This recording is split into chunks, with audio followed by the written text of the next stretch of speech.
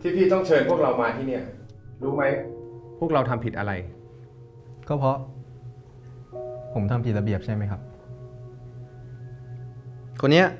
คือพี่สมศักดิ์ คือผมก็ไม่เข้าใจว่าแกจะจู้จี้จุกจิกไปไหน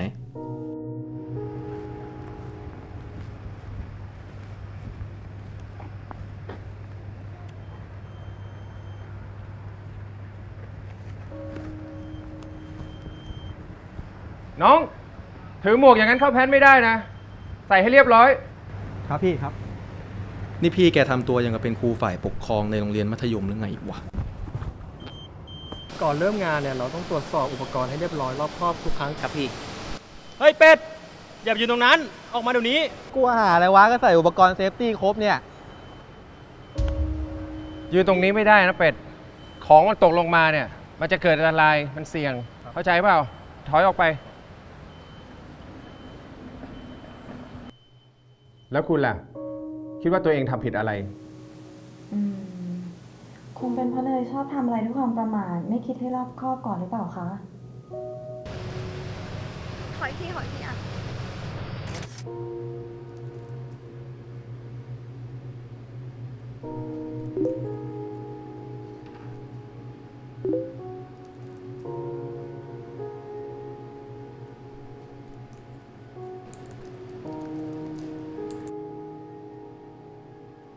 กินอะไรกันอะวันเนี้ย ขอชิมนะ ขอชิมนิดนึงในบรรดาพี่ๆฝ่ายเซฟตี้ทุกคนนะ พี่สมศักดิ์เป็นคนที่พวกเราคิดว่าน่ากลัวแล้วเข้าถึงยากที่สุดเลยพ่อเนี่ยพวกเธอรู้จักพี่คนนี้ไหมพี่สมศักดิ์เนี่ย ไม่เข้าใจเลยว่าทำไมแกต้องใส่หมวกอยู่ตลอดเวลา ขนาดกินข้าวต้องใส่ไม่รู้แกเป็นอะไรมากปะเนี่ย หรือแกคิดว่าเท่ไม่เข้าใจ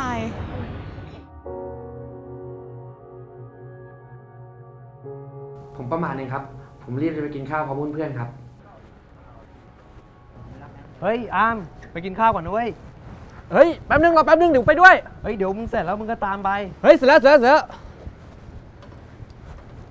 อ้ามเดี๋ยว ครับ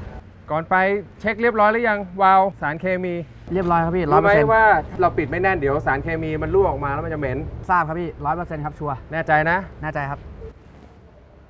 อ้าว ฮะขอโทษครับพี่ ก็รู้แหละว่าสิ่งที่พี่ก็พูดอะ มันถูกต้อง แต่คนเราอะมันก็มีผิดพลาดบ้างปะวะ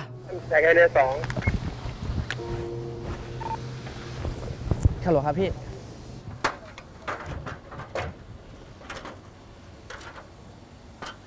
เฮ้ยมันเสีย ไม่ดีเลยอะเดี๋ยวกูไปแจ้งซ่อมให้ เฮ้ย เสียเวลาว่ะ แค่นี้เอง แป๊บเดียวไม่เป็นไรหรอก ชัวร์นะ ชัวร์ดิโห แค่นี้เองแป๊บเดียว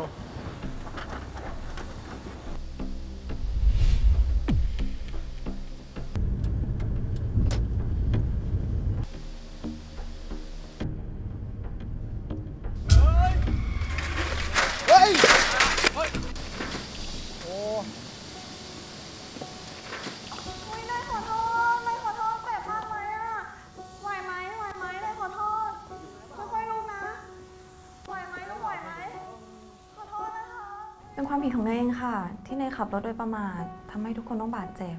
จริง ๆ ก็โทษน้องคนเดียวก็ไม่ได้หรอกครับ ผมขี่จักรยานไม่ระวังเองด้วยแหละครับ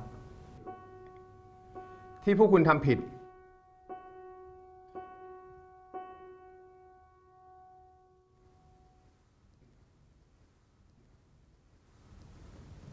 นั่นก็คือ เพราะคุณไม่ห่วงตัวเอง และไม่คิดถึงคนที่รักคุณ เวทกับลูก เป็นจะไดพ่อง รักษาสุขภาพตัวนะลูกเวลาเขากลับมาแล้ว นี่เขาซื้อของมากินเพียบเลย โอ้ยทำไมซื้อมาเยอะจังอะไม่ได้กินคนเดียวไง ให้เจ้าตัวเล็กของพ่อด้วยเองไม่อยากให้ไปเลยอะเป็นห่วง ถ้าพี่คิดถึงเขามากๆ พี่ก็ดูรูปเขาในเฟซนะ ผมเชื่อว่า ทุกคนมีคนที่ห่วงใยรอคุณอยู่ที่บ้าน